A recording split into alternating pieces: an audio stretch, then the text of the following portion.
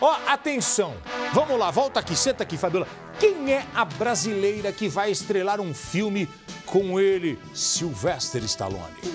Sabe quem é? Quem? A Isis, Val... a Isis Valverde confirmou que estará no elenco do novo filme do Sylvester Stallone. Vai ser o primeiro projeto internacional dela. As filmagens acabaram em abril deste ano, lá nos Estados Unidos. Por enquanto, o filme ainda não tem data de lançamento confirmada. Não é, rock, não é o Rock Balboa. Não, não, Não. não. Agora, a Judite... Que é uma- Rambo. Não, não, não. É o Rambo, Cobra. no, Rambo 9, deve Não. ser. Rock Cobra, 10. cobra, co- cobra. Falcão, Falcão.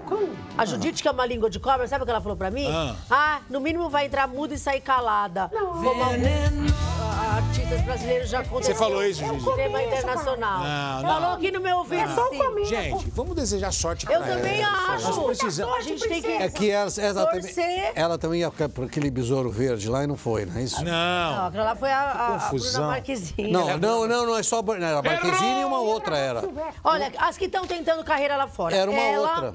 A Marina Rui Barbosa, Isso. a Bruna Marquezine. Eu. Elas estão tentando aí. Ó, se minha memória é boa, hein? Essa Isa estava no, nesse, nesse. Aí no, a Marquezine levou. Mas ela estava nesse filme que ela. Ela fez o teste, E fez né? o teste, isso aí. Ah, é Tá bom. verdade. Olha, sucesso pra ela. Tomara que dê certo. A gente tem que torcer pro, pra, Mas pros também artistas esse brasileiros Stallone é- explodirem lá fora. Stallone é um Gente, eu chato tô apaixonado, pra sabe? Eu tô apaixonado agora pelo cinema argentino. Argentino. Olha, Que cinema. Ouro na cabeça. Que cinema ouro na maravilhoso.